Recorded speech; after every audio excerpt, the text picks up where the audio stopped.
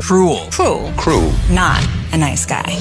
He ruled the world's mightiest empire with sadistic brutality. He was vindictive and dangerous and irresponsible. His reign of terror lasted just 1,400 days. Yet even today, everyone knows his name. He really is the personification of evil. The stories that we have, the things that they tell us are quite extreme. Most say he was crazy, but was he? Psychopathic? Evil? Oh, yes. Clinically insane? This is the story few know behind one of the most infamous figures of the ancient world. This is Caligula.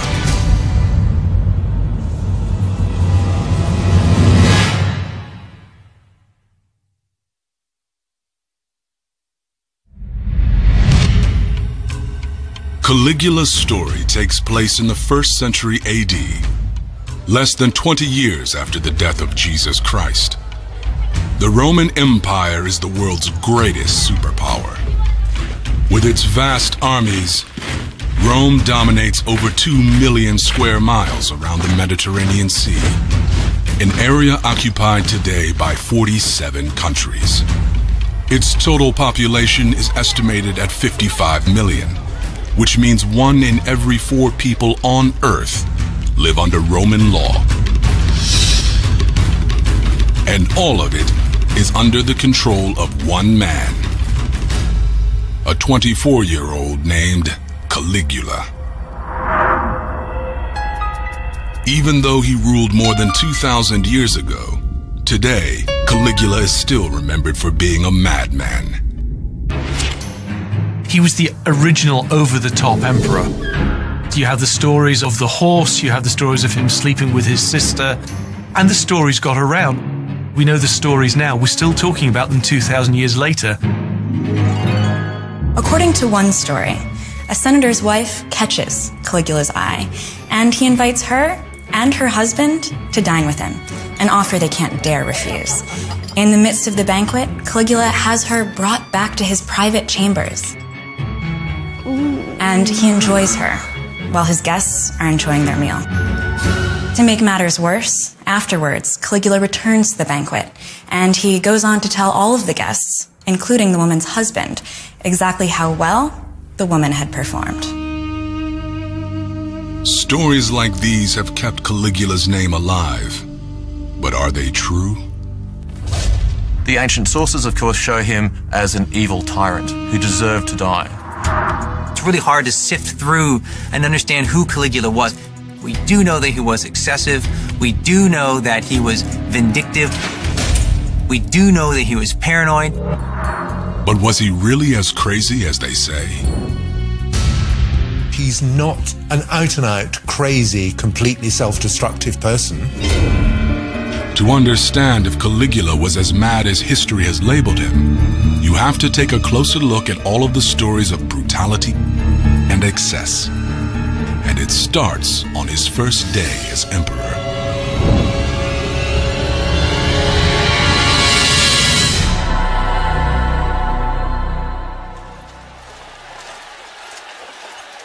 Caligula's reign begins with a triumphant procession up the Appian Way, Rome's most famous road.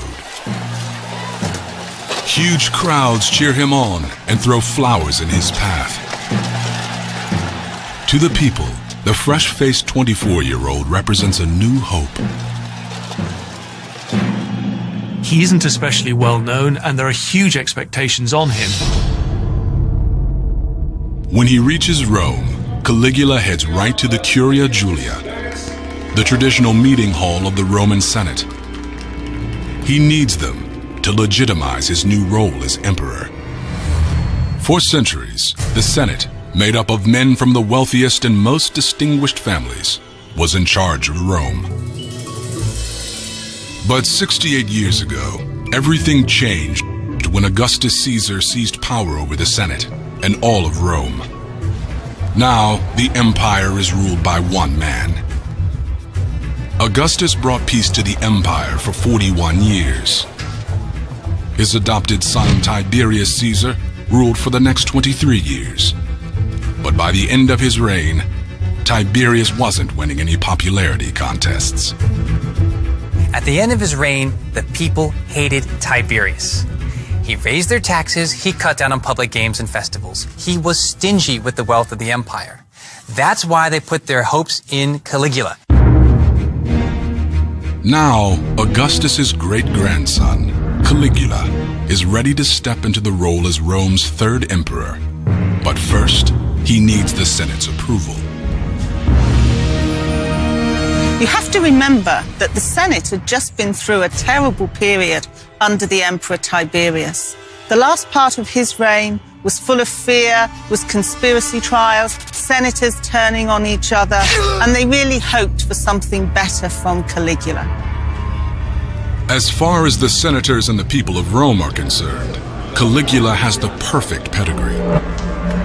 His mother was the granddaughter of the popular Augustus, and his father Germanicus was one of Rome's greatest and most honored generals.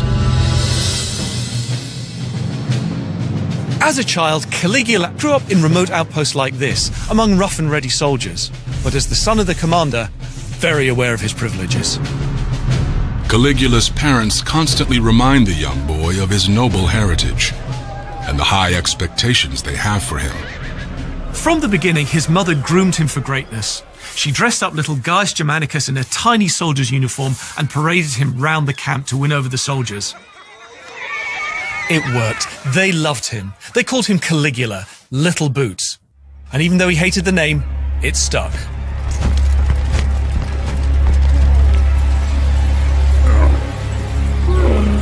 Caligula is only seven years old and living in Syria where his father Germanicus was on assignment. Suddenly, his father falls ill. Worse, it turns out he was poisoned, a terrible way for a soldier to go. And rumour has it, it was on the orders of the emperor himself. The emperor at the time is Tiberius, Caligula's great uncle. He feared Germanicus's growing popularity among his soldiers and the people. So he ordered his best general poisoned to death. Caligula watches his father die for the crime of being too popular. It's a lesson in the ruthlessness of imperial power that he would never forget. But Tiberius doesn't stop there. When Caligula and his grieving family return to Rome, the emperor continues to persecute them, convinced that they are still a threat to his power. Tiberius has both Caligula's mother and eldest brother arrested on the charge of treason. And they're ultimately exiled out to a barren rock in the middle of nowhere. His mother starves herself to death, and his eldest brother commits suicide. Tiberius has Caligula's other brother thrown into a cell beneath a palace. There, the young man starves to death, but not before trying to eat his own mattress. The death of his parents and brothers will have a profound influence on the young Caligula. If your nearest relations disappear rather casually, as it were, this puts some toughness in you and um, makes you pretty unpleasant. It's not really surprising that he ends up slightly unhinged. But Tiberius spares the young man, at least for a time. He only survived because he was too young to really be a threat. When Caligula turns 17, he receives a summons from the emperor. He is to come to Tiberius's magnificent palace on the island of Capri, off the coast of Naples.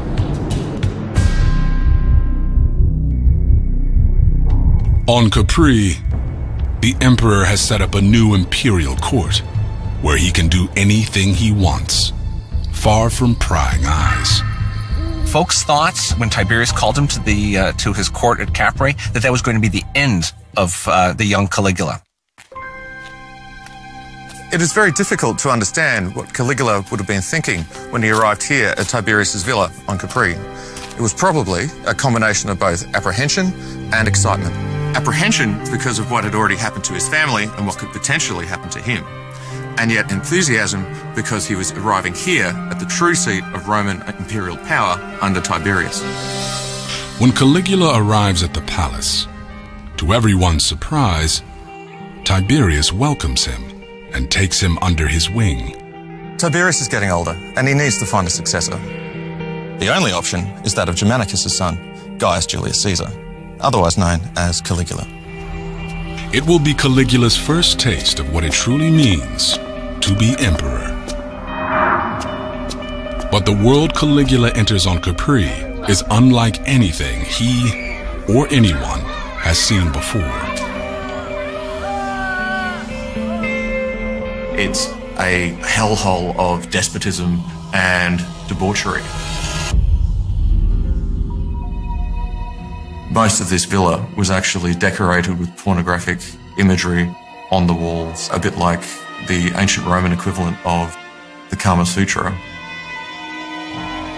Tiberius was having young boys and young girls running around in the gardens outside of the villa, scantily clad, having sexual encounters, and he would sit there and watch.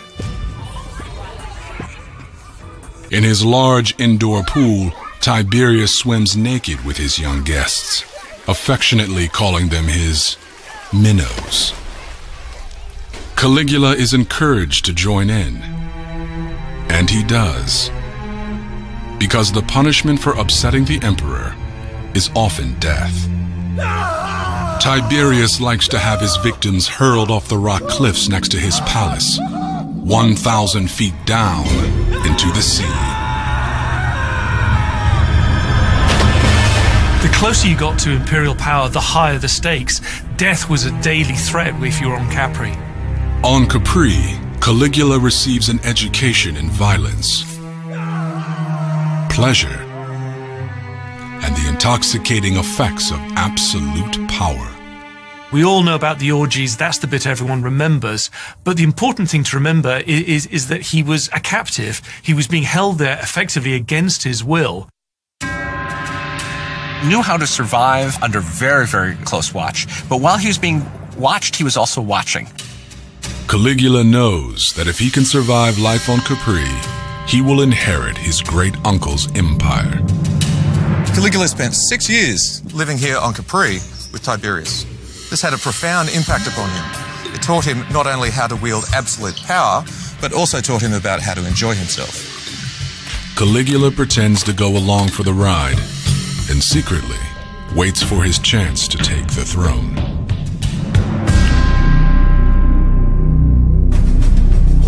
Caligula knows that the surest way to power is to secure the loyalty of the Praetorian Guard, the men hired to protect the emperor.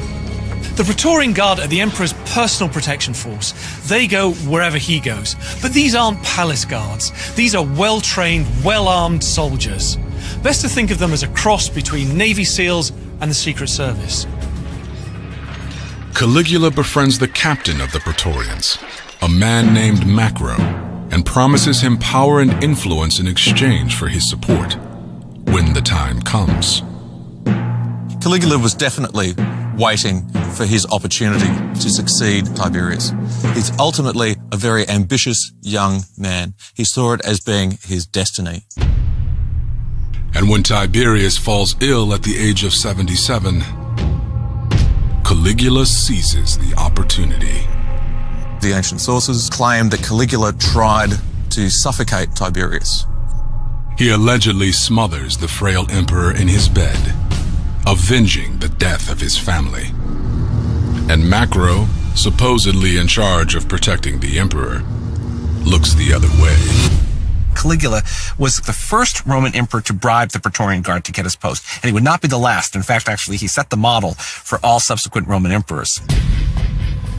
Macro commands the Praetorian Guards to support Caligula as their new emperor and they escort him back to Rome up the Appian Way in force.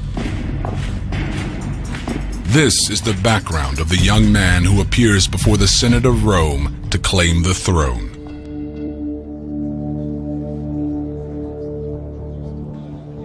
He followed Tiberius, who was mighty unpopular by the time he died. This must have seemed the beginning of a new chapter. He makes a speech that really wows the Senate. He is everything that the senators want in an emperor.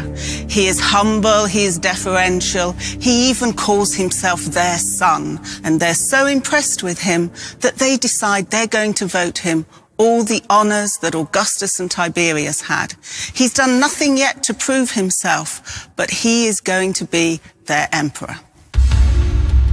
Rome has welcomed Caligula. He is now ruler of the world's greatest empire and his reign is just beginning. But how long will it be until Rome realizes that they may have crowned a madman?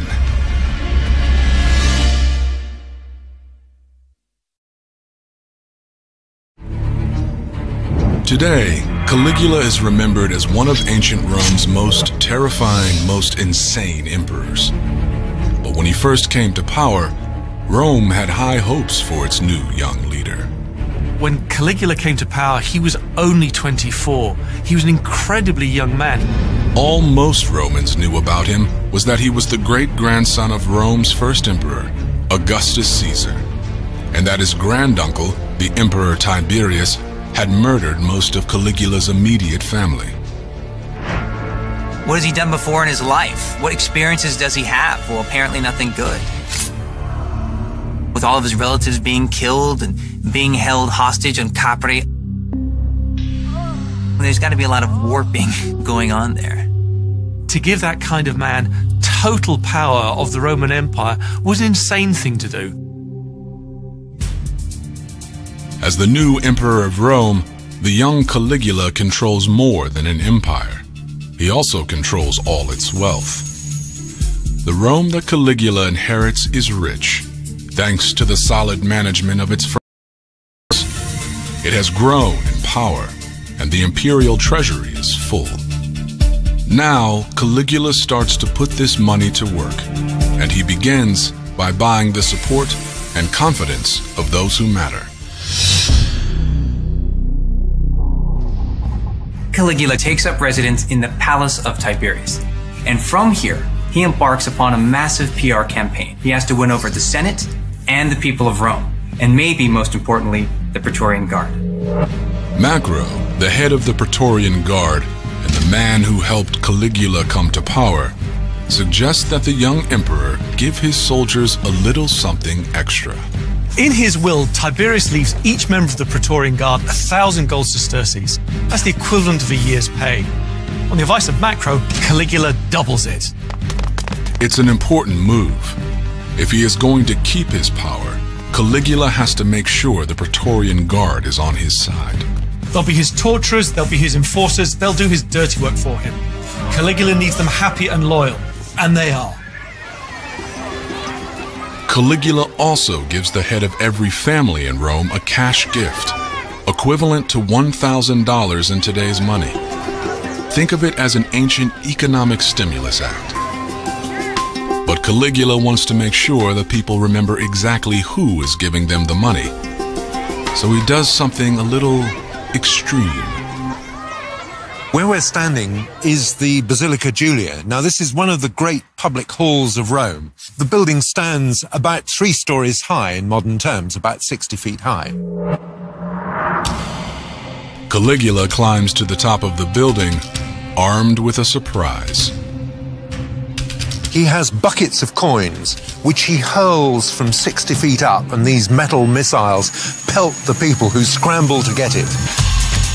And those who aren't injured by that, well, they run the risk of being trampled in the crush to pick up the coins from the street below.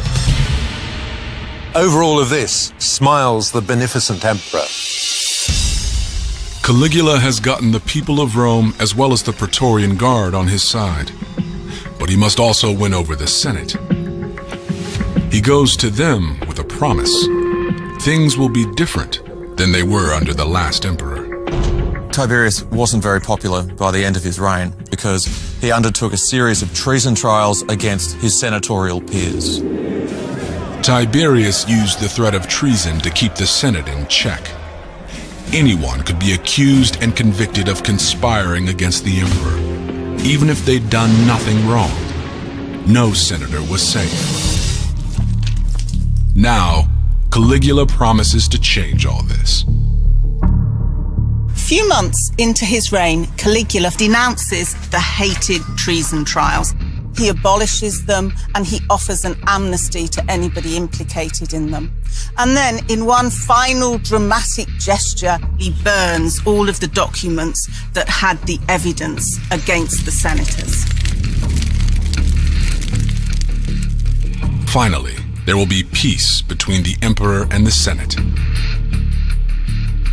He even appears to make peace with the past, adopting Tiberius's grandson, a 14-year-old boy named Gemellus as his own heir. I think the whole thing really is a big PR stunt. I mean, Caligula is 24 years old. He's going to have a long reign in front of him. Giving attention to Gemellus and adopting him costs him nothing. But devotion to family and interest in succession is going to make him look good to the Senate and the people of Rome. With everyone's support secured, Caligula's first six months in power are a resounding success. 187 days into Caligula's rule, the Senate grants him the highest possible honor of the Roman Empire, the title Pater Patriae, Father of the Country. His word is now law. He is the undisputed master of Rome. Suddenly to get all that power, having done nothing in particular towards it, with all the fawning and admiration and so on, you'd have to be a very special person not to have it turn your head. But then, Caligula gets an unpleasant reminder of his limits. And we don't know exactly what happens, but it's certain that Caligula suddenly falls ill. And it's serious. And it lasts for weeks. Nobody knows what's going to happen. It's like the whole empire is holding its breath. Word quickly spreads far and wide that the new beloved emperor is at death's door. The people hold vigils outside the palace. Commerce comes to a halt. But not every citizen of the empire is paralyzed with fear. The head of the Praetorian Guard, Macro, who pledged his allegiance to Caligula, abandons him. Macro does what he did before when Tiberius was ill. He prepares for the worst. He spends a lot of time with Gemellus, Caligula's adopted heir. He encourages him to make public appearances to reassure the people, and he starts to groom the young man for the throne. But Caligula surprises everyone. He makes a full recovery. And when he looks around at the situation, he's not very pleased with what he sees. Gemellus has stepped up, and he looks pretty comfortable in that position. Caligula realizes that with Gemellus around, he's always replaceable. Caligula orders the boy arrested and imprisoned. But that's not all. Caligula sends his Praetorian guards to Gemellus' cell. Now, since it's forbidden for soldiers to spill imperial blood, he gives them strict orders that Gemellus must take his own life. Now, Gemellus doesn't even know how to use a sword, and so he has to ask the soldiers for help. And they show him how to insert the sword to die as painlessly as possible. Gemellus proves to be a quick study, and he takes his own life. Caligula orders the death of his 14-year-old cousin. It is the turning point in his reign, the moment when the terror begins. Because he doesn't stop there. Caligula really feels betrayed by Macro, the man that helped him become the emperor in the first place. But he can't simply kill the head of the Praetorian Guard. That's when he does something brilliant. He promotes him and appoints him the prefect of Egypt.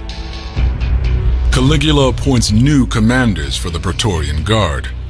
And then he makes his move. Before Macro can leave for Egypt, Caligula has him arrested for treason. He's presented with a sword and told to take the honorable way out. Macro is also forced to commit suicide. And Caligula claims another victim. There will be many, many more. When Caligula became ill, a certain nobleman declared publicly that he would gladly give his own life for the emperor to recover. When Caligula recovers, he then finds the nobleman and obliges him to fulfill his vow. He has him dragged through the streets and thrown into the Tiber where he drowns. This reveals the true nature of Caligula. If folks were going to make statements like that, he was going to call them on it. And this is what he did. Brutality like this is nothing new in ancient Rome. That's how people got and held on to power. But Caligula's reign of terror is just beginning, because he will prove to have an appetite for power like no other man in history. Now he's got the reins of the empire. He can do whatever he wants, so he can be wanton, he can be irresponsible.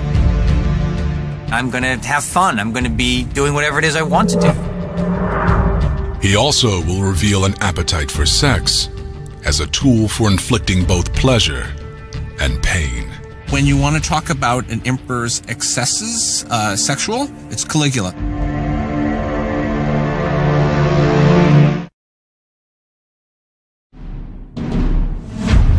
During his first six months as the ruler of ancient Rome, Caligula secured his position by buying off the people and the military.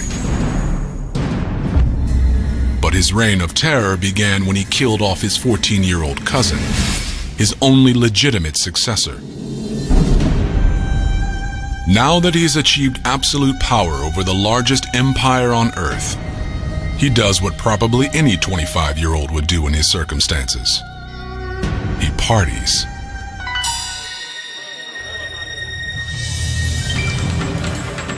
One year into power, and life is good for Caligula. He's dining on exotic foods shipped in from all over the empire, throwing lavish parties at his palace. Upper class Romans would often throw banquets as a way of displaying their wealth and prestige. But Caligula takes it to a whole new level. His guests feast on exotic delicacies like flamingo tongue, camel heels, and roasted ostrich. One banquet in particular cost 10 million sesterces. That's the annual revenue of three Roman provinces combined. This is a guy with an appetite for pleasure. I mean, he was an addict. With his drinking, with his attitude toward food, he even adapted a specific poison to extend his stomach so he could eat even more. It's the sort of opposite of a vomitorium. And It was also very hard for someone coming from his background, growing up in the environment that he did, not to be a glutton, not to indulge in extreme sexual activity. All Rome is talking about Caligula's exotic and erotic parties, and his unnatural relationship with his youngest sister, Drusilla. One of the first nouns that come to mind when one thinks of Caligula is incest. It's an open secret. All of Rome is whispering that Caligula is sleeping with his youngest sister, Drusilla. At banquets, he gives her the position of honor, lavishes her with attention, feeds her with his own hand, and even caresses her, all in front of her own husband. Caligula's sister Drusilla is married to one of Caligula's close friends, a man named Lepidus. But word on the street is it was just to keep her close. Romans liked talking about sex, and scandal about sex was great to talk about. Lepidus has no reason to complain about the arrangement. As Caligula's brother in law, now he's next in line for the throne. But could Caligula's relationship with his sister have been more than just sexual? It's possible that he did have some notion in mind of developing a pure royal line along the line of the Ptolemies in Egypt. This is the thing that pharaohs did. This is all part of his, you know, love of Eastern culture and doing a, an Eastern type of emperor thing. The only thing Caligula seems to enjoy more than sex is violence.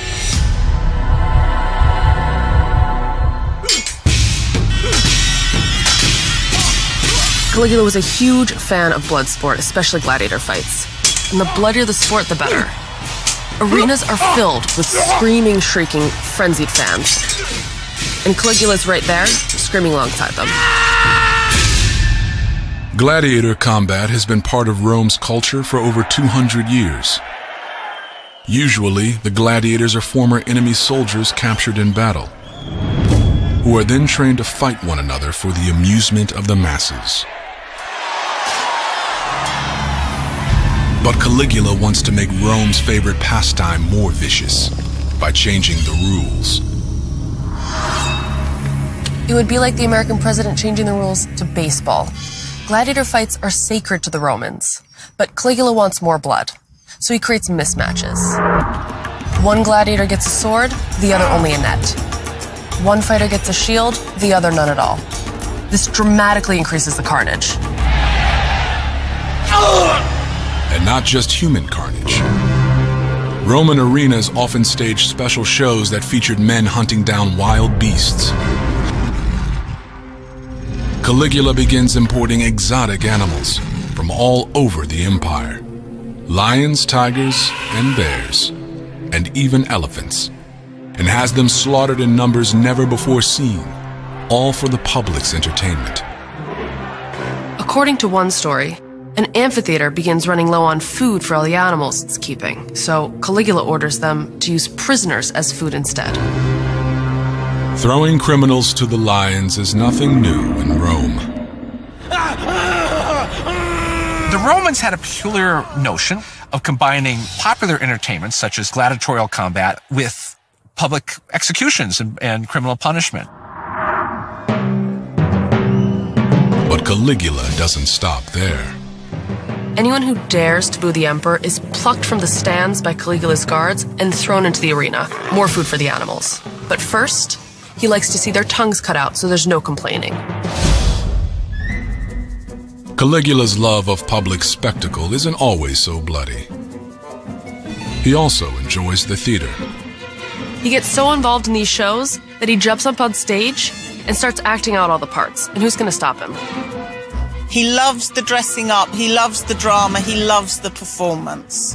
And he can do it because he's the emperor. But Caligula's absolute favorite hobby is horse racing. More than anything else, Caligula loves horse racing. He goes to the races, he hoots and hollers with the crowd, he lays down vast amounts of money as bets. But more than this, he visits the stables, he rewards the charioteers, he throws parties for them. More than anybody else, Caligula takes professional horse racing at Rome to the next level. And the people love him for this.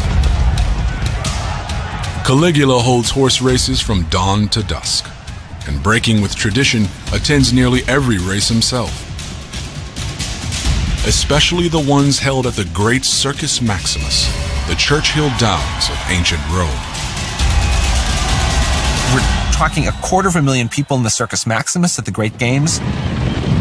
It was a fantastic opportunity to show the Roman people that he was one of them. But just as with the theater, Caligula wants to do more than just watch. He wants to participate. What he does is he builds his own private racetrack, one similar to this one here, but in his case on the side of the Vatican Hill. But he needs a centerpiece. His great grandfather Augustus in the Circus Maximus had erected an 80 foot obelisk. Caligula decides to do the same thing. Caligula orders a massive ship be built on a scale never tried before. It is longer than a football field and almost half as wide, and it has just one purpose to transport a massive 300 ton obelisk from Egypt to Rome. As it so happens, his obelisk is three feet taller than that of Augustus. Apparently, for obelisks, size matters. You can still see Caligula's mighty obelisk today at the entrance to one of the holiest sites on earth St. Peter's Basilica. The more Caligula spends on his parties, games, and festivals, the more the people love him for it. But the Senate is not happy with Caligula at all. He is hanging out with the kind of people that they really don't approve of. He's mixing with actors, he's going to lowbrow entertainment. This is not what they wanted from their emperor, but Caligula really doesn't care.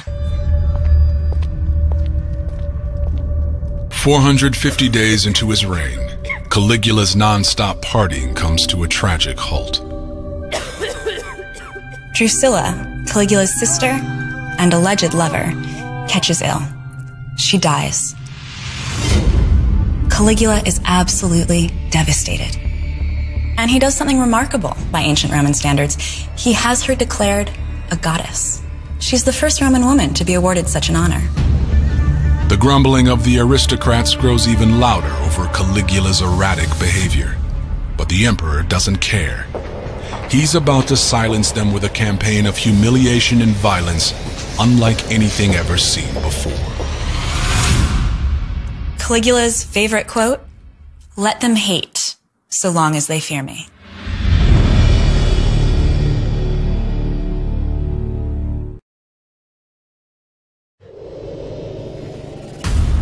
As the absolute ruler of the vast Roman Empire, Caligula has spent his first year and a half in power partying, hosting elaborate games and feasts. But he's also horrified Rome's senators with his cold-blooded slaughter of anyone who displeases him. Even his own 14-year-old cousin. But the Senate's complaints are going to fall on deaf ears. For them, the terror is just beginning.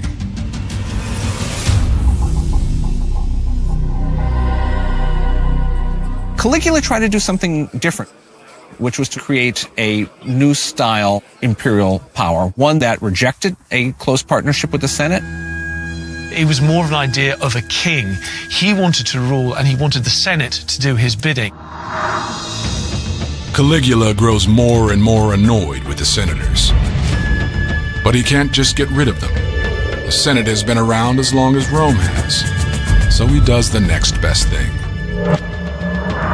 He launches a campaign to humiliate them publicly and show everyone how useless they really are.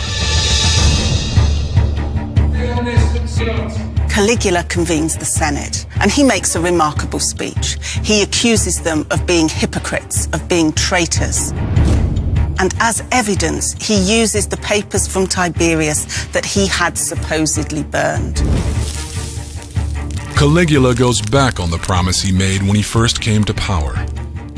He announces he's going to hold treason trials like Tiberius did before him, and encourages senators to report anyone who speaks out against the emperor. Then he mocks them, saying that they'll probably thank him for his insults. How are the Senate going to respond to this abject humiliation? They meet the next day and they do exactly what Caligula had said they would do. They vote him honours, they lavish praise on him.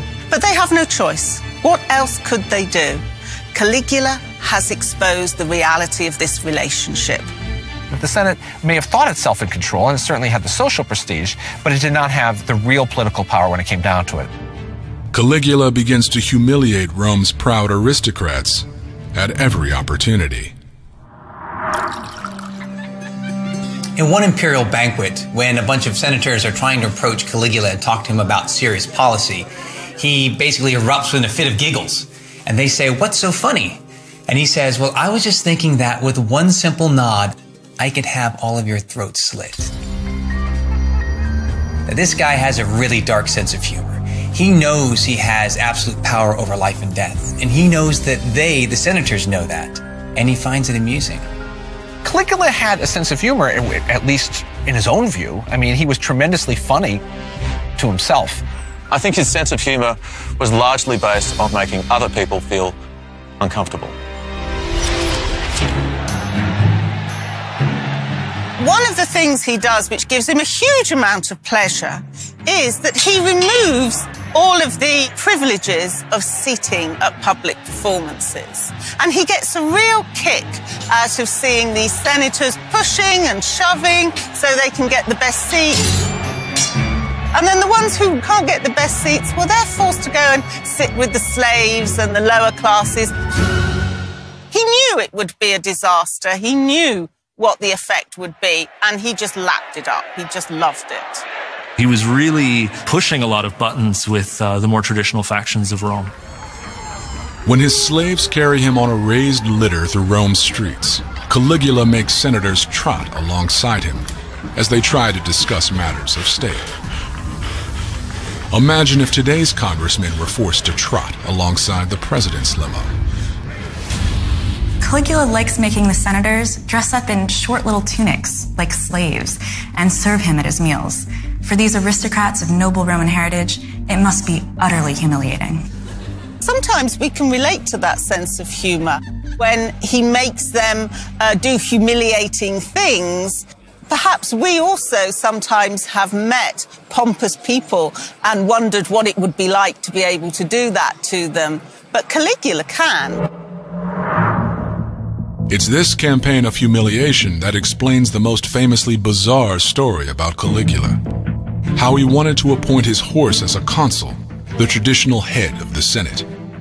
Caligula has this prized thoroughbred racehorse named Incitatus. I mean, he loves this racehorse. All sorts of honors were paid to this horse, including given the same breastplate that uh, Alexander the Great's horse uh, had. The story goes at one of his infamous banquets, Caligula invites out his horse Incitatus, has him brought to his table at a place of honor. He's given food, water, everything in golden bowls. And when some of the members of the Senate ask, why is this happening? He responds, I'm thinking of making him consul. A lot of later historians have looked at this story as proof that the Emperor Caligula was insane. But it's just as likely that this was really just an elaborate prank aimed at insulting his distinguished guests. The senators would have cut off their right arm to be a consul. And here is Caligula. He gives all this to his horse. He wanted the Senate to do his bidding. By humiliating them, he was showing his irritation with a class that wasn't doing what he wanted them to do. The senators aren't just humiliated, they're paralyzed. Should they take his bizarre behavior seriously? One wrong word, and they could be killed. Late one night, Caligula summons a few of the most senior senators to his palace. They think he's going to consult with them about the growing unrest of the Germanic tribes along the River Rhine. Instead, he emerges in full costume and performs a little dance for them. At the end, he demands their applause. He knew it would be very funny to a larger populace. Uh, it'd be funny, in fact, to everyone except the senators themselves. Later historians, aristocrats themselves, used these stories to prove how crazy Caligula was. Many of the things which the sources say he does, which seem to us very childish and silly, and perhaps evidence of a kind of a madness, they were in fact designed to humiliate the senators. His campaign of humiliation seems to work. This dignity, this honor, this is what the senators really relied on. He really has taken everything from them. Senators begin prostrating themselves when addressing him, a tradition followed more in Egypt and the Far East than in Rome. He's turning into Rome's version of a divine pharaoh, but he needs to have children to establish a true family dynasty. Caligula gets married to the rather plain looking daughter of a wealthy merchant. Her most attractive feature? She's already eight months pregnant. Whether the baby is his or not, nobody knows. She goes on to give birth to a little baby girl. This will have huge implications for the succession. But the really creepy part about the whole thing is that Caligula names the little girl Drusilla after his dearly departed sister. Drusilla's husband Lepidus had been next in line to the throne. Now, he and Caligula's two surviving sisters are out of luck. And with the Senate humiliated to the point of breaking, conditions are ripe for conspiracy. There are plenty of other folks amongst Rome's nobility that had just as good a claim to imperial rule, and these folks were dangerous. Caligula is still just halfway through his reign. The terror has only begun. He will create wild spectacles of debauchery, lead his armies to the edge of the world, and start a bloodbath back in Rome, killing people by the dozens. What will it take to finally push Rome over the edge? What Caligula does really pushes the envelope and is ultimately rejected.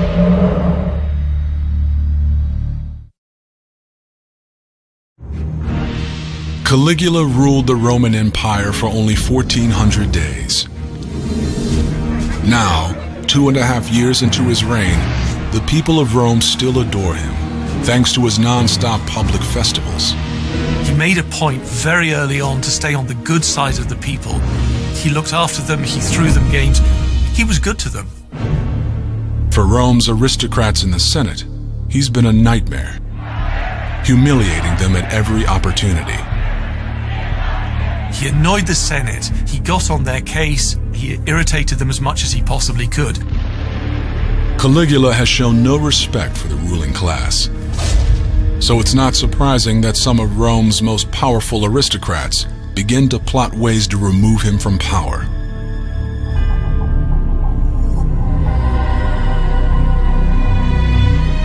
Caligula hears disturbing rumors about both of Rome's consuls, the two officials elected by the Senate to lead them. And Caligula takes action. Out of the blue, Caligula has both consuls arrested, both executive officers. And that is unheard of. Imagine an American president arresting the senior senators of both parties. Now, the charge is that they failed to honor him properly on his birthday. There is, of course, another theory conspiracy. Caligula tortures the arrested officials and uncovers a vast conspiracy to assassinate him. Eventually, these consuls are forced to commit suicide. The emperor soon discovers that the plot runs far deeper. It's not just a bunch of disgruntled senators. It's family. It's a devastating betrayal, one that shakes Caligula to his very core. It turns out that his sisters and his brother-in-law, Lepidus, are plotting to kill him before he can produce a male heir. Lepidus was next in line to the throne, but now it appears that he and Caligula's two sisters are at the center of a far-reaching plot to seize power. If you're in the imperial family, it isn't going to be like any other family. Anybody who is a relative of yours is at the same time your rival. Think of it as the Hollywood portrayal of the mafia. That's how families treated each other. They were quite happy to bump each other off when, when they needed to. Caligula needs to make an example of them. He orders his brother-in-law Lepidus executed. Next, he forces his older sister Agrippina to walk 100 miles through the Roman countryside, carrying her co-conspirator's ashes. And in a twisted touch, he banishes both of his sisters to the very same island where the Emperor Tiberius sent their mother to die just 10 years earlier. They could be used as a magnet for any opposition, for anybody who wanted to revolt against the emperor. You can't have an idea of your sister as just your sister. She's your sister, but also your rival. Agrippina will have the last laugh. She will be the mother of an emperor, one nearly as infamous as her brother Caligula. His name is Nero. Also implicated in the conspiracy is one of Caligula's top generals, the commander of eight veteran legions. Caligula has him executed as well. But that leaves him with a problem, because that general was in charge of one of Rome's most dangerous frontiers. For the past 90 years, the empire's northern border has been the Rhine River. There, Roman troops have struggled to keep the fierce tribes of Germany from overrunning the empire. Caligula needs these troops to stay loyal. For any one of Rome's emperors, it was absolutely crucial to have the total loyalty of the legions, especially those on the dangerous frontiers in the armed provinces. He also needs them if he is to accomplish his real dream, to expand the empire and add glory to his name, Caligula heads north.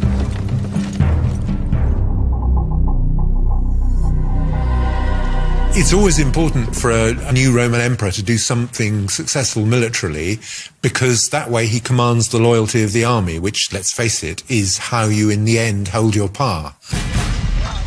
As far as Caligula himself was concerned, being the son of Germanicus, he had to show himself an effective commander in the field. Caligula knows that the best way to cement his authority in Rome is by military conquest. The Romans respect their generals above all else. He needs a military campaign. The empire already stretches around the entire Mediterranean. But Caligula wants more.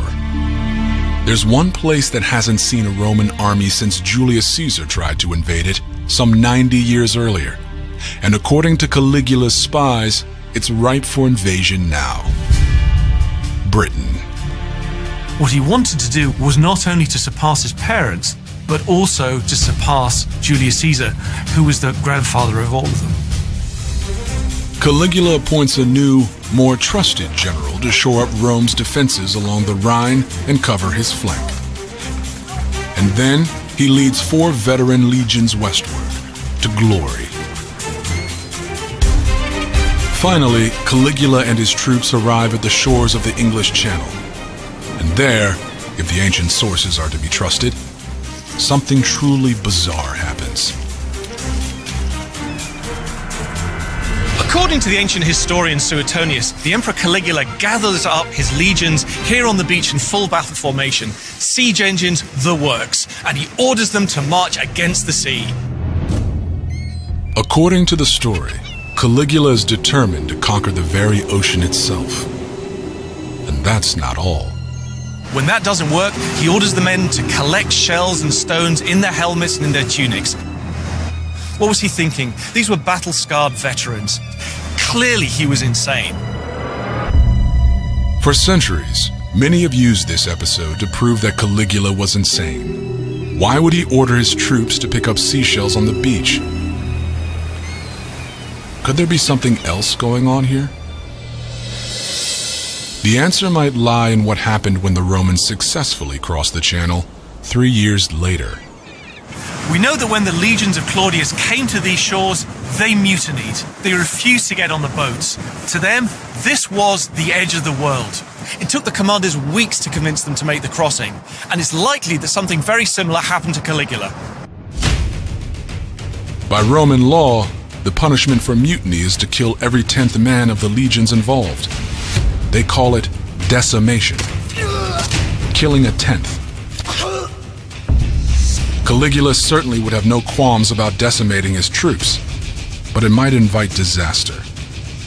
Caligula can't decimate his troops if they mutiny. After all, he's just executed their general, and the last thing he needs is the armies of Gaul rising up against them. So instead, he has them collecting seashells on the shore as a way to humiliate them. Having, you know, these tough, hardened Roman soldiers picking up seashells on the beach is the ultimate humiliation to the Roman man, if you like. For Caligula, the attempt to invade England is a devastating failure he won't dare admit to back home. Instead, he sends messages back to the Senate about his successful military maneuvers up to the edge of the Northern Sea. Reports which may have led to the rumor that he ordered his men to literally attack the ocean. Caligula's on his way back to Rome after his northern adventure. He's thinking he's done a fair amount uh, in the north. He's strengthened the Rhine defenses. He's prepared uh, the way for a full-scale Roman invasion of Britain. He's made it all the way to the English Channel. For this, he deserves a full Roman triumph. But the Senate's not in the mood to give him one. The triumph is an honored Roman tradition. Roman generals returning from a major military victory would parade their troops through the heart of Rome, cheered on by the people. It's one of the highest honors anyone can get in the ancient world. But triumphs must be awarded by the Senate, and they aren't about to give Caligula one. Instead, they simply send messages urging him to return so decisions can be made. Now he's starting to get angry. His answer to these embassies? I'll come. I'll come, but when I do come, I'm bringing this. And he taps the sword at his side. Caligula's decided, even though he hasn't conquered Britain, he finally is going to conquer the Roman Senate.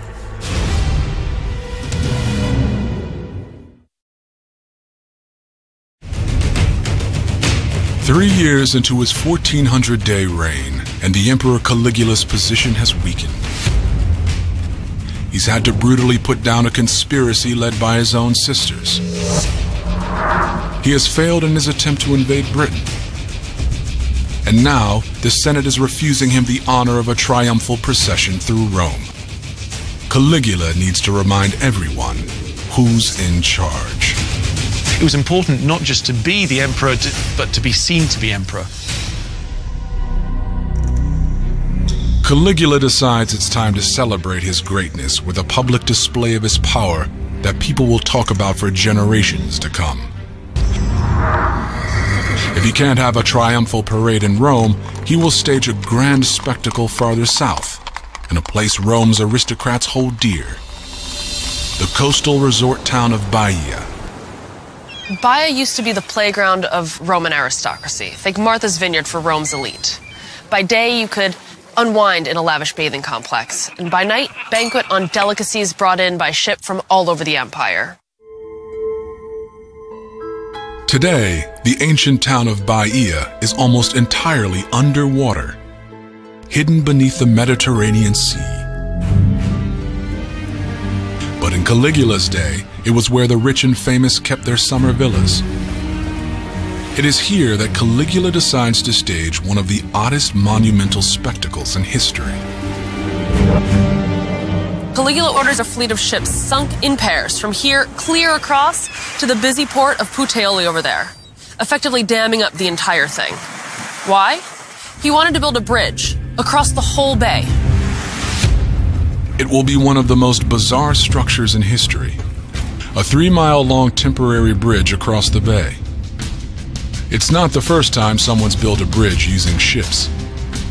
The great Persian king Xerxes once created a pontoon bridge across a narrow strait between Turkey and Greece so he could march his troops across it. Now, 500 years later, Caligula hopes to outdo the famous Persian king. Caligula's engineers start dumping stones and earth on the sunken ships until they create a land bridge three miles long, clear to the other side. He even orders it paved with stones, like a real Roman road. Finally, the stage is set. Caligula puts on a garland of oak leaves, mounts his horse, and leads his legions across the causeway from Baia to Puteoli. It's not so much a parade as a piece of spectacular theater. Behind him, there are hundreds of soldiers in full battle dress, and it takes them the entire day to make the crossing. That night, Caligula and his troops party it up in Puteoli. They claim mock captives from the brothels of the port and drink late into the night. And then the next day, they do the whole thing in reverse, only this time, Caligula mounts a horse drawn chariot, and half the population of Puteoli joins in the fun. The entire bridge is lined with torches, allowing the party to continue into the night. Brawls erupt. Some even drown as things get out of hand. Historians have used Caligula's bridge to nowhere as proof of his utter insanity. But did the stunt actually serve a more strategic purpose? Imagine you're one of those Roman aristocrats watching from his villa as the party erupts across the bay. You'd be terrified. Caligula has unleashed utter chaos. He's essentially saying, I don't need your triumphs and I don't need your honors. I'm the great Caligula. He genuinely believed that people would admire him for it. And indeed, many people did. He was very popular in certain sectors of the community. A large part of this is I want to party and I want to have a good time. But I think there's a political dimension to this that as an emperor, you want to make yourself grander and grander, more and more remote, more godlike. Roman emperors often created great monuments to show off their power. Rome's aqueducts and monumental arches, even temples like the Pantheon, were all funded and built by men hoping to win the hearts and minds of the people. But Caligula's projects aren't great public works. They seem to be just testaments to his own ego. When we see his building projects, it's interesting how many are focused on himself. Perhaps the greatest example of this is what he builds at Lake Nemi, just 20 miles south of Rome. This lake here and the forest which surrounds it is a very special place for Emperor Caligula, because in antiquity, this was considered the sacred dwelling ground of Diana, who's the goddess of the forest and also the moon. Now, it's here that Caligula used to come to escape the stress and havoc of the city of Rome. And it's here that he decides to build something unlike anything that had ever been constructed before, and unlike anything that's ever been repeated since. It was a discovery only made in the 1930s, when archaeologists working under Mussolini drained the lake. They discovered two enormous ships, bigger than anything historians thought the Romans capable of building at the time. They were both nearly a football field long and 75 feet wide. And when they read the inscriptions on the ship's pipes, they were stunned. With his unlimited funds, power, and ego, apparently Caligula decided to build the biggest yachts in the world. As you can see here, Lake Nemi is really quite small. It's less than a mile in diameter. Now, try to imagine in this relatively small space a barge that's the equivalent of a football field in length. Now imagine two of these barges floating out there. On shore, archaeologists painstakingly reconstructed the astounding ships. But although they had survived for almost 2,000 years at the bottom of the lake, they could not survive World War II. The ships were destroyed in an aerial bombardment. But the building that housed them still stands today as a testament to their enormity. The ships would have dwarfed the surrounding lake and inspired awe in any guest lucky enough to be invited aboard. Caligula builds these huge floating pleasure palaces to standards of luxury that have never been seen before. The ships are purpose built for making wine soaked cruises to nowhere. The floors are covered in mosaics from all over the Roman Empire. Each of the terracotta roof tiles were covered in bronze. The most impressive thing, I think, is the fact that the entire ship was outfitted with a piping system for both hot and cold water. In fact, hot water would run underneath some of the marble floors so that each one of these rooms would be nice and warm and cozy for the guests who were coming to Caligula's ships.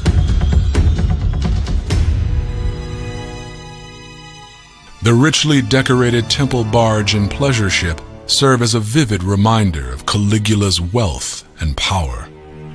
He was very, very eager to point out there was a strong difference between an emperor and a senator. He's saying, I'm richer and I'm more powerful than even the highest class of the Roman world. He's also sending another message, which is these ships were built hearkening in the style of the ancient ships that carried the pharaohs down the Nile. And he's saying, I'm going to rule not like the previous two Roman emperors. I'm going to rule Rome with the absolute power of a pharaoh. His message was clear, because when the ships were discovered, they still had all their valuable bronze and marble fittings. It appears they were intentionally sunk intact after Caligula's death, most likely on orders of the Senate. They wanted no reminders of him. Many believe that the Nemi ships, like the Bridge of Boats at Baia, are the ultimate vanity projects, ways for Caligula to prove that he has no equals. He's on his way to becoming a divine pharaoh, and as those around him swiftly discover, to question him is to die. In order to make himself the undisputed ruler of Rome, he had to step on a lot of people. He had to step on a lot of corpses.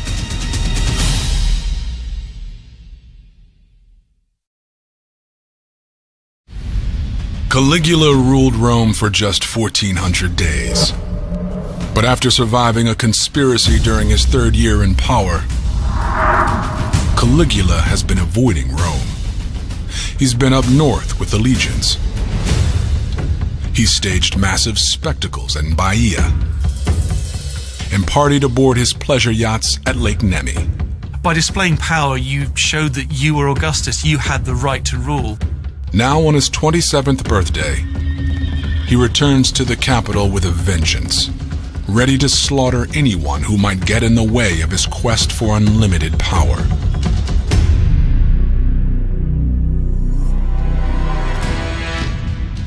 If anyone whispers against the Emperor, if anyone even looks at him the wrong way, they go on his list of enemies.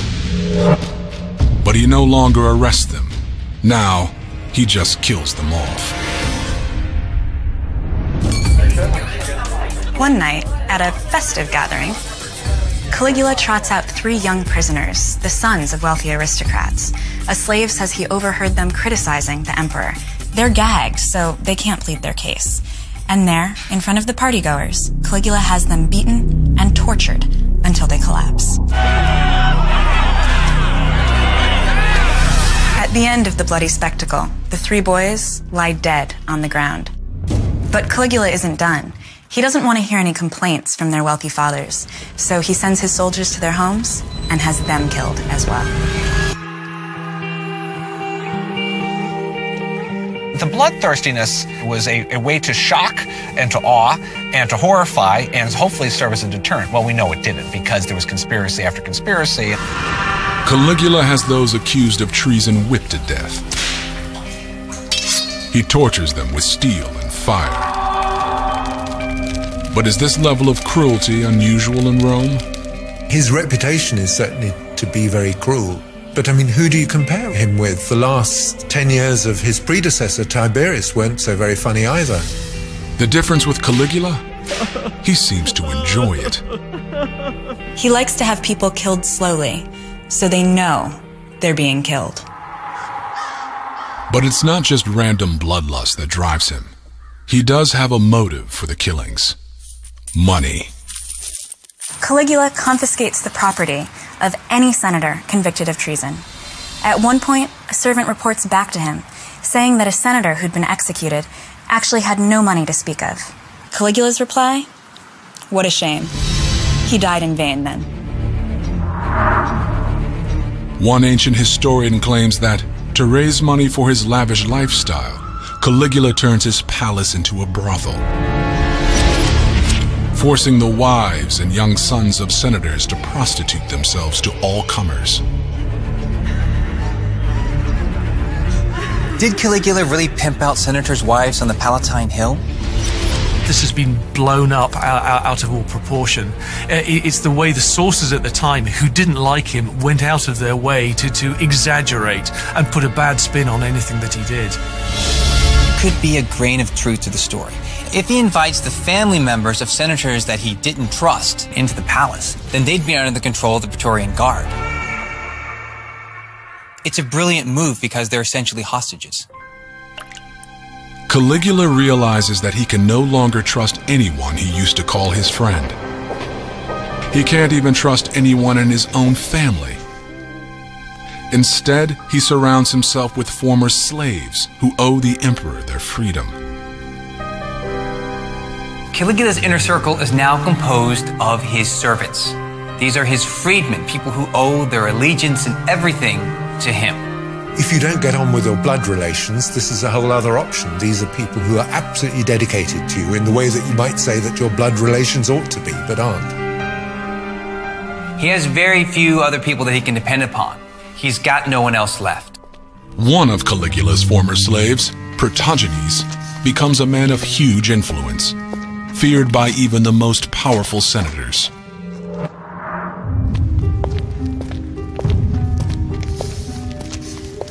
Caligula has a secretary whose job it is to monitor the senators to make sure there are no conspiracies against him. One day, he went to the Curia, and as the senators filed past him, he said to one of them, Why do you greet me when you hate the emperor so? That was all the other senators needed to hear. They start to stab him with their pens and they start to rip into his skin. But then it gets worse. They chase him and they start to rip him apart.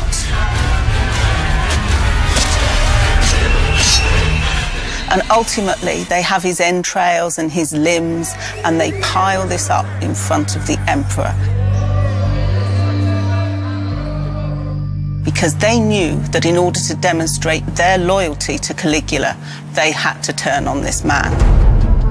Caligula has ruled Rome for just 1,300 days, and in that time, he has gone from a beloved figure to becoming a true tyrant, ruling through fear and intimidation. He wasn't a emperor on the model of an Augustus or a Tiberius, which was a bundle of constitutional powers.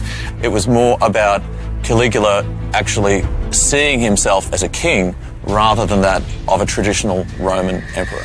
That's the way that imperial power was going. Augustus and Tiberius, by default, had full rule, whether they liked it or not. And all Caligula was doing was being honest and saying, I want to be a king. No one dares to say no to him. His every word is law. When you're in that position, power becomes very, very, very seductive. And that, I think, is what happened to Caligula. But for Caligula's ego, it's not enough to have absolute power. Now, he wants to be worshipped as a living god. Did he really believe that the Roman people would accept him as a god? It certainly was not normal but is that what finally pushes Rome to overthrow their emperor?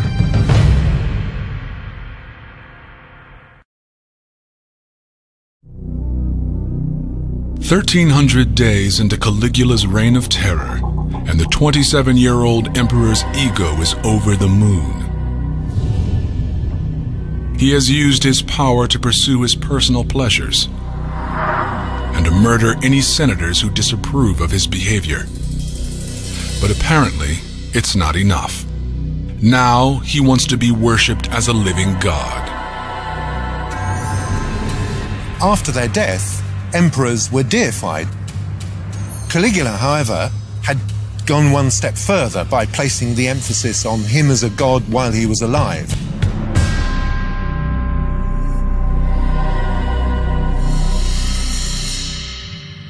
We have to remember that at a very impressionable moment in Caligula's life, he went to Syria with his father Germanicus, and they were worshipped as gods. And I think there is a way that that stayed with him into his adulthood. Typically, Caligula's desire to be worshipped begins as more of a joke. Caligula is a person that loves the art of pantomime. And in those performances, you're usually acting out mythology, Greek mythology, and you're acting in the guise of a god. Apparently, from time to time, he dresses as the god Jupiter or Apollo, or even puts on a wig and pretends he's Venus, goddess of love. According to one story, he demands the senators come up on stage and bow before him, prostrating themselves. And they do.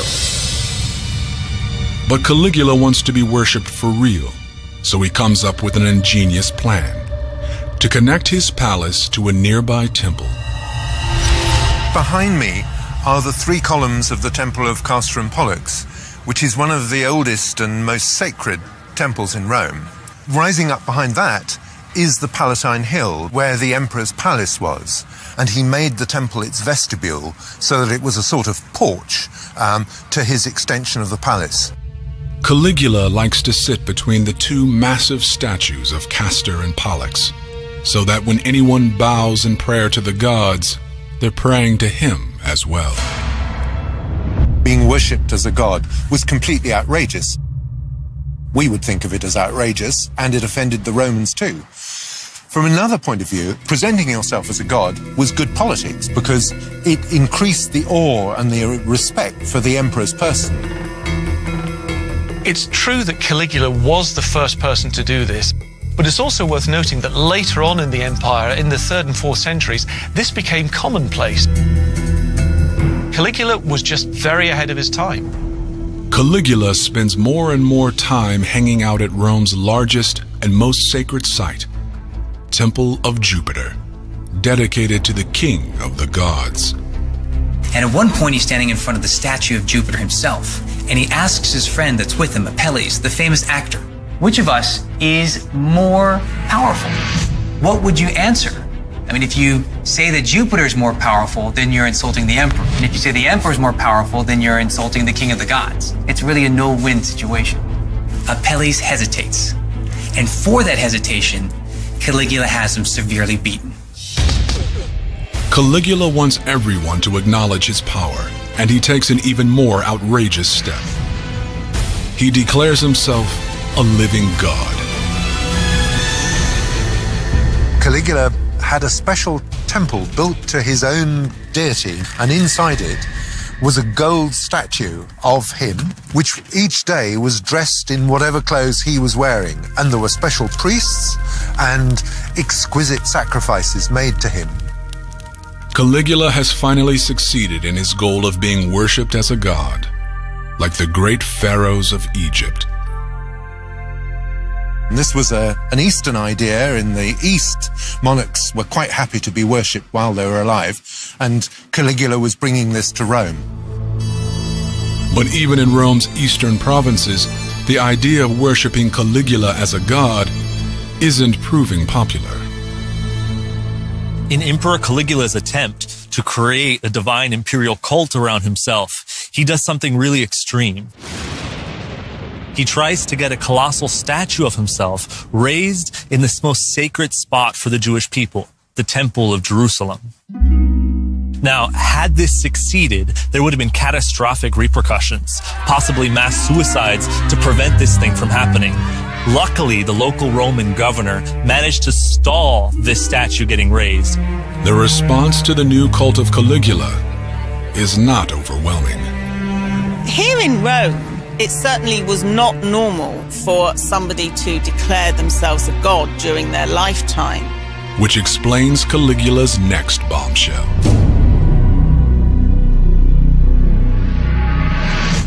Caligula announces to the Senate that he's leaving Rome and moving to Alexandria in Egypt. Alexandria itself is one of the most important cultural centers within the ancient world at this point in time. Alexandria certainly was a place where his style of autocratic leadership uh, would have been more acceptable. But why would Caligula want to move the capital of the Roman Empire away from Rome? Under Augustus's own rules, senators were not allowed to step foot in the province of Egypt. So, in other words, what Caligula was saying, I'm going to set up a capital that no senator can step foot in. I can reign exactly as I like. And this was terrifying to Rome's ruling class. This is the biggest slap in the face for Roman society in general, particularly for the aristocracy. It is December in the year 40 AD. Caligula is making arrangements to move the imperial court to Egypt. He does not know it, but he will never see its shores. In fact, he has less than 30 days to live. Caligula had to be killed. It was now or never, and the stakes were huge.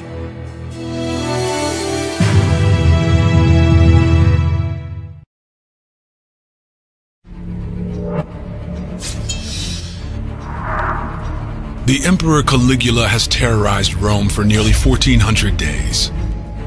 He has forced everyone to worship him as a living god.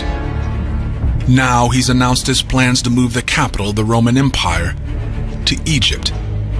There, they know how to worship their rulers as divine kings. The notion of Caligula moving the capital to Alexandria, I think that this was used not as an idle threat. This was used as a real two by four to hit the collective skulls of the Senate with. There's another reason to leave. Caligula's latest campaign of violence against the Senate has made him a target. For Caligula, Rome has become a dangerous place. With enemies behind every door, it's time to get out of Rome. If he moves the imperial court to Alexandria, everyone in Rome will lose. The aristocrats, the Praetorian guards, even the people. It's the final straw.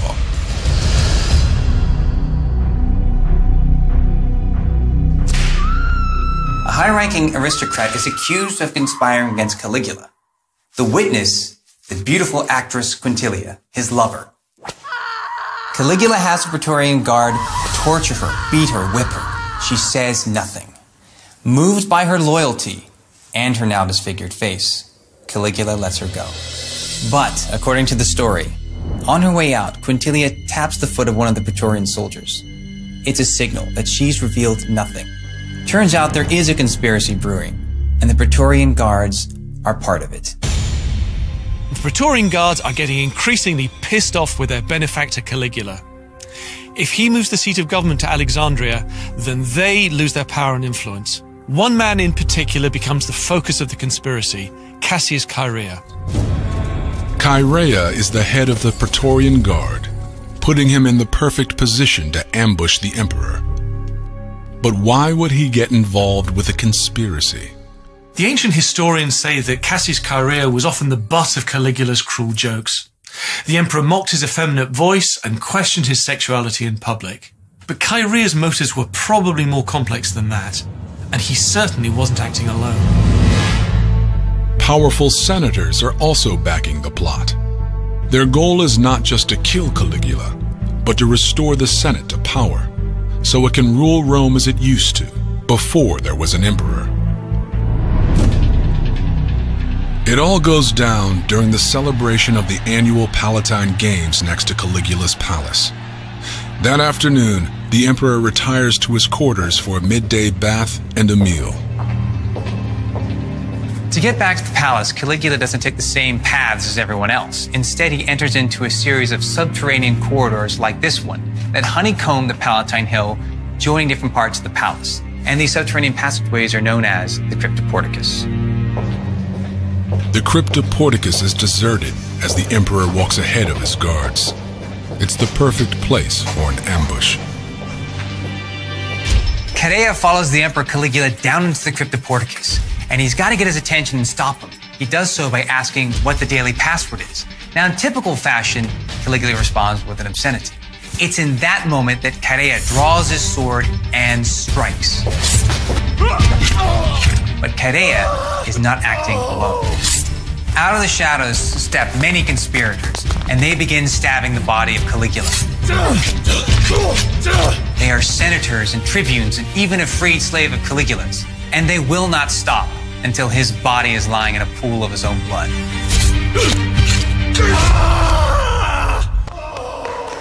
Eat eat eat.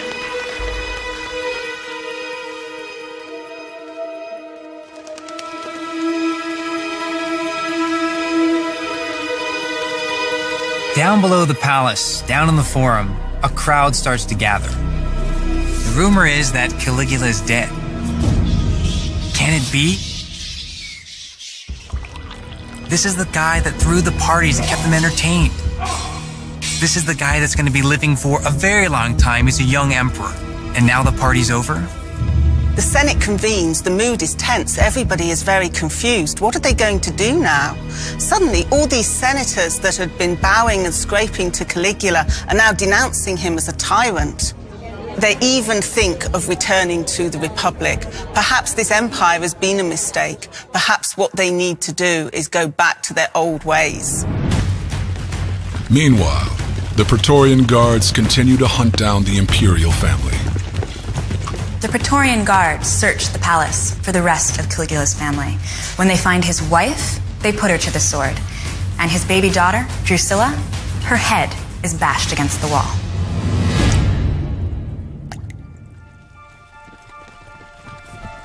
No blood descendant of Caligula can survive. As the Praetorian guards go from room to room, they stumble across Caligula's uncle, Claudius, who's gone into hiding. Now, Claudius is convinced he's next on the chopping block, but that's not what happens. As the Senate is pondering what to do next, Chaerea and the Praetorian Guards put their own plan into action. The Praetorian Guard take Claudius back to their camp just outside the gates of Rome and proclaim him emperor. This was their plan all along. They don't want to return to the Republic. As long as there's an emperor to protect and serve, they have the power and they have the influence. Claudius, Caligula's elderly uncle, becomes the next emperor of Rome. Claudius is always portrayed as this slightly bumbling fool, but he was a much, much brighter man than given credit for. And there's some reason to believe that Claudius himself was behind the uh, assassination. Claudius certainly benefited from it. The Senate get word that the Praetorian Guard have declared Claudius the new emperor, and they have been outmaneuvered. The Senate's dream of regaining power over Rome is now dead. If there was a window, it was just a tiny crack, and it closed very, very quickly, and was never to reopen again. After Caligula's death, the Senate does its best to remove all traces of him. They declare a damnatio memoriae, a damnation of his memory. Inscriptions are chiseled out, statues are actually taken down and smashed, and every physical representation of the emperor is completely removed from the public record. And they really condemn his memory and really condemn that image of him. But it is too late. Caligula's 1400 days of terror may be over. But he has redefined the role of emperor. His incredible appetite for both pleasure and bloodshed will be imitated by later emperors, drunk on imperial power, and Rome will never be the same. He really shows us what might happen if there were no rules. He was incredibly young when he came to the throne. You gave this raw man absolute power of the world, and of course, it corrupted him. He goes down in the history books as one of the worst. There's a reason why he's assassinated so early on in this reign. Whether or not he was insane or simply evil, Caligula's mother and eldest brother arrested on the charge of treason. And they're ultimately exiled out to a barren rock in the middle of nowhere. His mother starves herself to death, and his eldest brother commits suicide. Tiberius has Caligula's other brother thrown into a cell beneath a palace. There, the young man starves to death, but not before trying to eat his own mattress. The death of his parents and brothers will have a profound influence on the young Caligula. If your nearest relations disappear rather casually, as it were, this puts some toughness in you and um, makes you pretty unpleasant. It's not really surprising that he ends up slightly unhinged. But Tiberius spares the young man, at least for a time. He only survived because he was too young to really be a threat. When Caligula turns 17, he receives a summons from the emperor. He is to come to Tiberius's magnificent palace on the island of Capri, off the coast of Naples.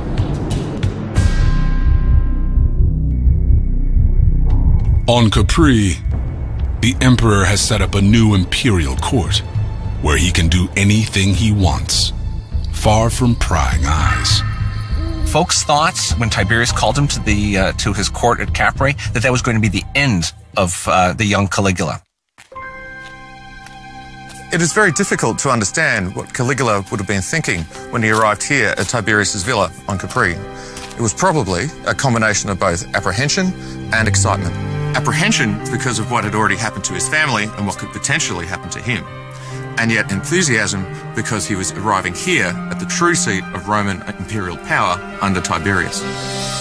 When Caligula arrives at the palace, to everyone's surprise, Tiberius welcomes him and takes him under his wing. Tiberius is getting older, and he needs to find a successor. The only option is that of Germanicus' son, Gaius Julius Caesar, otherwise known as Caligula. It will be Caligula's first taste of what it truly means to be emperor.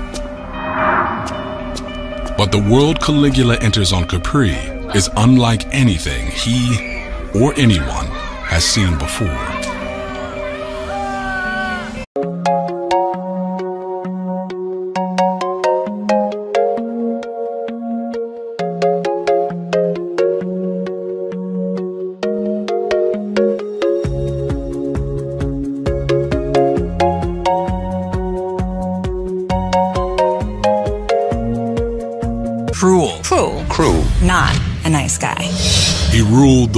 Mightiest empire with sadistic brutality. He was vindictive and dangerous and irresponsible. His reign of terror lasted just 1,400 days. Yet even today, everyone knows his name. He really is the personification of evil. The stories that we have, the things that they tell us are quite extreme. Most say he was crazy, but was he? Psychopathic? Evil? Oh, yes. Clinically insane? This is the story few know behind one of the most infamous figures of the ancient world. This is Caligula.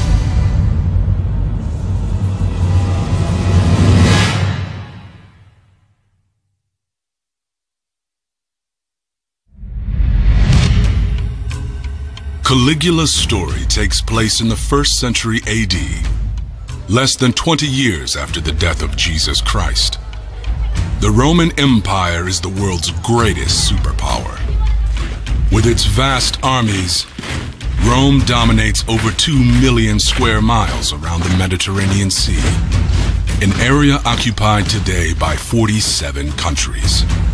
Its total population is estimated at 55 million, which means one in every four people on Earth live under Roman law. And all of it is under the control of one man, a 24 year old named Caligula. Even though he ruled more than 2,000 years ago, today Caligula is still remembered for being a madman. He was the original over the top emperor. You have the stories of the horse, you have the stories of him sleeping with his sister, and the stories got around. We know the stories now, we're still talking about them 2,000 years later. According to one story, a senator's wife catches Caligula's eye, and he invites her and her husband to dine with him, an offer they can't dare refuse. In the midst of the banquet, Caligula has her brought back to his private chambers. And he enjoys her, while his guests are enjoying their meal. To make matters worse, afterwards, Caligula returns to the banquet, and he goes on to tell all of the guests, including the woman's husband, exactly how well the woman had performed. Stories like these have kept Caligula's name alive. But are they true? The ancient sources, of course, show him as an evil tyrant who deserved to die. It's really hard to sift through and understand who Caligula was. We do know that he was excessive. We do know that he was vindictive. We do know that he was paranoid. But was he really as crazy as they say? He's not an out and out crazy, completely self destructive person. To understand if Caligula was as mad as history has labeled him, you have to take a closer look at all of the stories of brutality and excess. And it starts on his first day as emperor.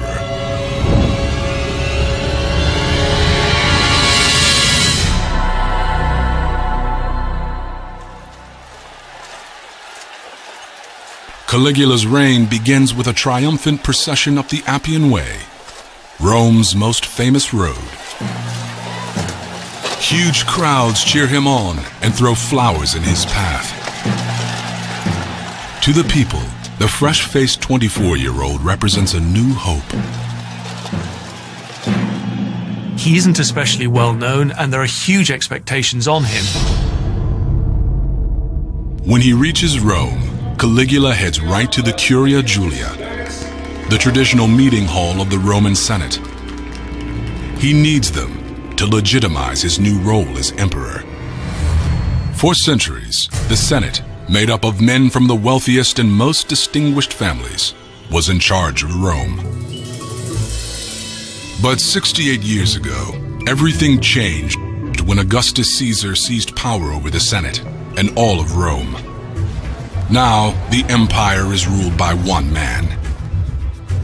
Augustus brought peace to the empire for 41 years. His adopted son Tiberius Caesar ruled for the next 23 years. But by the end of his reign, Tiberius wasn't winning any popularity contests. At the end of his reign, the people hated Tiberius. He raised their taxes, he cut down on public games and festivals. He was stingy with the wealth of the empire. That's why they put their hopes in Caligula. Now, Augustus's great-grandson, Caligula, is ready to step into the role as Rome's third emperor. But first, he needs the Senate's approval. You have to remember that the Senate had just been through a terrible period under the Emperor Tiberius. The last part of his reign was full of fear, was conspiracy trials, senators turning on each other, and they really hoped for something better from Caligula. As far as the senators and the people of Rome are concerned, Caligula has the perfect pedigree. His mother was the granddaughter of the popular Augustus, and his father Germanicus was one of Rome's greatest and most honored generals. As a child, Caligula grew up in remote outposts like this, among rough and ready soldiers. But as the son of the commander, very aware of his privileges. Caligula's parents constantly remind the young boy of his noble heritage and the high expectations they have for him. From the beginning, his mother groomed him for greatness. She dressed up little Gaius Germanicus in a tiny soldier's uniform and paraded him round the camp to win over the soldiers. It worked. They loved him. They called him Caligula, Little Boots. And even though he hated the name, it stuck.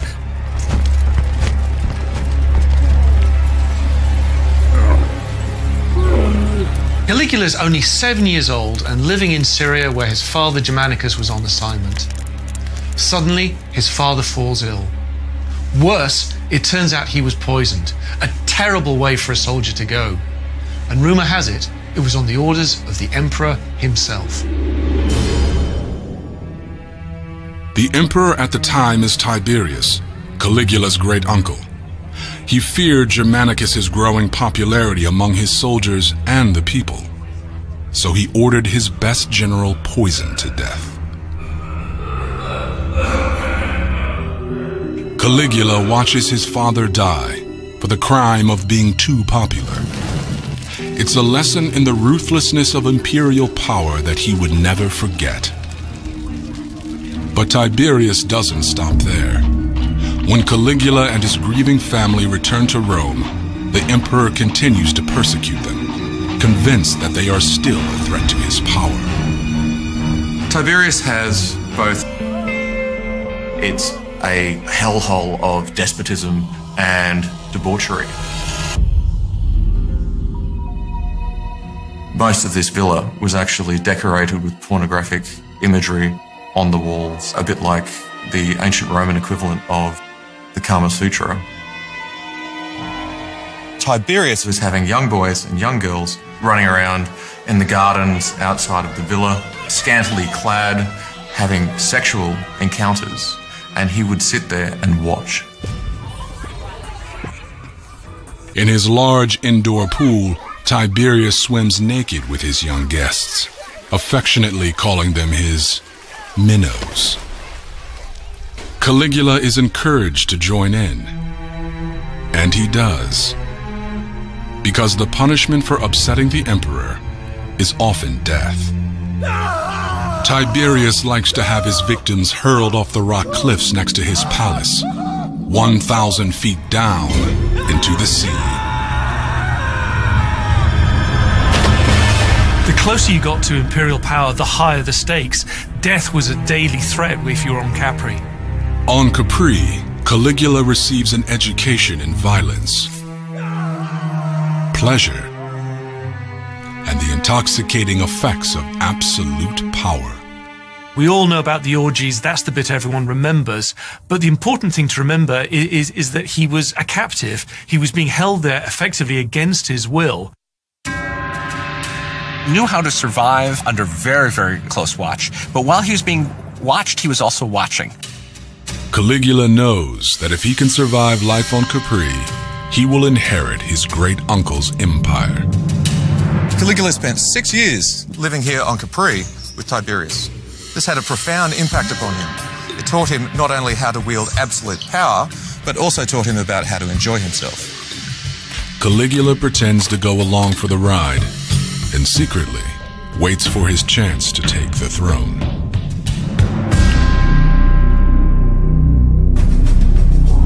Caligula knows that the surest way to power is to secure the loyalty of the Praetorian Guard, the men hired to protect the emperor. The Praetorian Guard are the Emperor's personal protection force. They go wherever he goes. But these aren't palace guards. These are well trained, well armed soldiers. Best to think of them as a cross between Navy SEALs and the Secret Service. Caligula befriends the captain of the Praetorian